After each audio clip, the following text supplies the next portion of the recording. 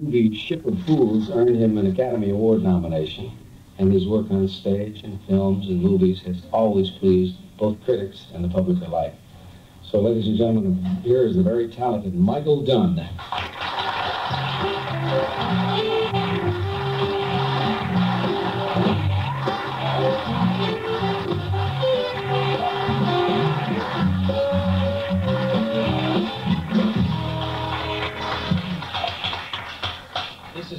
11th visit. Is that, that's a lucky That's number, right. isn't it? Starting in the old days in Cleveland. Yes. Yeah. Yeah. You're a man of so many talents. Do you, uh, there, there comes a time in, in certain uh, performers' lives, if they do go in other directions, where they can't uh, get the talent channeled in the right direction, they don't really know what to do because they do uh, so many things. Have you ever had that problem, Michael? I haven't had the problem. No, I've had it. Uh, I've had people say to me that I might have that problem. You know, people the expression spreading yourself too thin. But uh, I think basically uh, creative drive is common to more or less all the things that we consider creative or performing arts. And I don't think it can be dissipated by using it in different ways. It becomes a matter eventually of uh, just sheer physical energy. How much time and energy do you have to give to different kinds of projects? You derive the most enjoyment from, from which one? Be honest now. Um, well, I, I should think probably uh, either singing uh, with, a, with an audience in person or acting with an audience in person. Both are more satisfying to me than, than film so Mhm. far. But really, I derive my overall satisfaction from doing a little bit of everything. Uh, each medium has its own problems and its own particular rewards, and I think it's very stimulating to my acting craft, particularly, to be able to exercise it in different disciplines. Mhm. Because, uh, for instance, there's a uh, in just technical problems. If you're doing a film, there's a whole different vocal technique involved in doing a film. It's very down. It's it's very compared to, subdued. to the way you would approach uh, dialogue on the stage. You would have to speak so that everyone can hear you in pictures. It's Nobody just, ever conversational. Any, yeah, nobody ever has any trouble hearing me in a theater, even though there may be scenes or passages in a scene that must appear to be conversational. Still, they can hear me in the back. Yeah, But if you use projection technique like that on film, it would look like overacting. that's right. The sound man could handle it; he could turn it down or something like that. That's no problem. But it would be overblown by the intimacy of the screen. Have you done any pictures since you were here last? I just finished one. Um, in New York. Uh, we did a picture, fortunately, in New York. I'd love to shoot in New York. It was a very exciting feeling. Oh, really? It was very immediate. Um, we were shooting in the streets, actually in the streets. We had How do you avoid people? Uh, You don't. you shoot the sta- I don't mean avoid them, but they come around and they come in large numbers on the streets in New York. You know, well, does that get to be a problem? How do you handle it?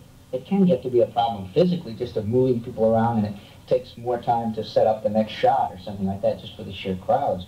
But we found our our spectators very cooperative, very you know.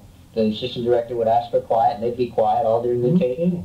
They didn't, uh, millions of, millions, hundreds, I don't know, of young kids would hang around the set, you know, and, and this was out in the street, mostly down in the village in New York. And kids by the hundreds and maybe thousands in a couple of big shots would uh, hang around the set and uh, no rowdiness, no carrying on. suppose any of them wanting to get on camera? Did you encounter any of that? They didn't appear to. I mean, they didn't, nobody tried to like get in front of the camera and do Yeah. a shot. Or What kind of that. film was it? Well, it's called The Apple Man, and uh, there's very little story to try to describe. Um, it's very much a mood kind of thing, you know, there's very little plot, and very little what you could call serious characterization, deep characters and everything. You play what So, the picture? I play the Apple Man. Really? He's a guy, uh, he sells apples in the street. I, I thought that might But- be it. the thing the thing about it is that the, uh, I play a character who is a dropout essentially. He was a an associate or assistant professor of English at a university, and got to where he couldn't handle the responsibility of fe- feeling responsible for for young minds and, and and not being able to be responsible for other areas of their minds that were turning in ways he didn't like. So instead of combating it, he drops out. but he finds he can't drop out from his essential feeling that he is responsible for people, or he's responsible for everything that he's connected with. That, that, Yeah, and it is. But the thing is that if it's properly cut, it depends so much on the editing. Explain that. Explain that to, to the viewers. I don't think they they know how important that is, and sometimes more work is involved there than in actually doing the film. Am I right? Well, in actual time, most pictures take much more time in the post-production. Um, there, there are three elements to making a picture in time. There's the preparation work, which involves uh, writing a screenplay, putting everything together. The unit manager has to put together a production schedule, a shooting schedule, what they call a day out of days, a daily schedule. Uh, the director has to work out his uh, scheme of how he wants to shoot the thing. They have to do all the casting, and the agents and the producers are screaming about contracts and everything. All this is preparation work. Then they have what they call principal photography, which is while they're actually shooting the film. It may take, uh, for instance, Ship of Fools took 52 days. That's actual shooting days. Mm-hmm. Um, That picture in the old days would have been six or seven months, probably. probably, yeah. Uh, this picture I just did, the Apple Man, took uh, about four weeks. And the post, uh, cutting Uh, work and all. The You got to figure work? it's going to be a minimum of three times as long as the shooting time. Michael, how close to the script do you stick when you do your I, as an actor, right? You, you always seem to be screenplay. improvising. You always seem to be improvising. Because he's so good at what Yeah. he does. Well, it depends on the screenplay, and there's, uh, for instance, in The Apple Man, we were encouraged to improvise to some degree. In Ship of Fools, no, word for word. Really? No improvising was allowed. Uh, they'd scream about one word. Um, in television, there's much more improvising than there is in Yeah. film, partly because you just don't have the time, maybe, to learn the thing That's right. you know. So you learn the speeches and you get hung up. You don't want to stop, so you give what you remember was the sense of the speech. That's right. So uh, in a film, you have much more time to rehearse and going through the thing, and you have more times to go over and over it again with the other actors, and you're learning the lines. You get them down. You have a chance, at least, if you approve of the line, to get it down word perfect.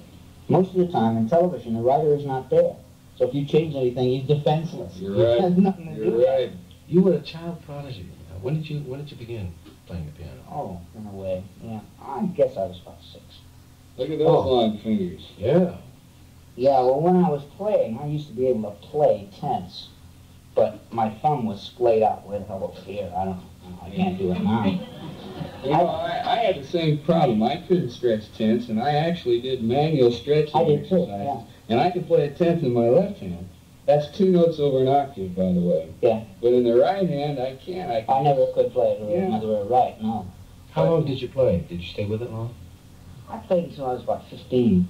Um, I played, you know, some small concerts, recitals and stuff like that. Know, I even got paid a few times. Did you want to be a concert pianist? I kind of had it in my mind.